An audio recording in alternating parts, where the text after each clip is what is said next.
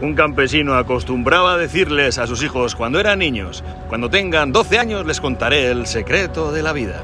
Cuando el más grande cumplió los 12 años le preguntó ansiosamente a su padre cuál era el secreto de la vida. El padre le respondió que se lo iba a decir, pero no debía revelárselo a sus hermanos. El secreto de la vida es este. La vaca no da leche. ¿Qué dices? preguntó incrédulo el muchacho. Tal cual lo escuchas, hijo. La vaca no da leche, hay que ordeñarla. Tienes que levantarte a las 4 de la mañana, ir al campo, caminar por el corral lleno de excremento, atar la cola y las patas de la vaca, sentarte en el banquito, colocar el balde y hacer los movimientos adecuados. Ese es el secreto de la vida. La vaca no da leche, la ordeñas o no tienes leche. Hay una generación que piensan que las vacas dan leche, que las cosas son automáticas y gratis.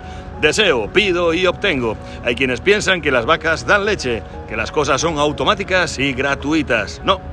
La vida no es cuestión de desear, pedir y obtener. Las cosas que uno recibe son el esfuerzo de lo que uno hace. La felicidad es el resultado del esfuerzo. La ausencia de esfuerzo genera frustración. Así que recuerden compartir con sus hijos desde pequeños este secreto de la vida. Las vacas no dan leche, hay que trabajar por ella. ¡Ja! Sé inquebrantable, invencible, siempre creen en ti, pásatelo pirata. Recuerda que la vida es muy corta como para beber mal vino. Nos vemos en los bares. Chao familia.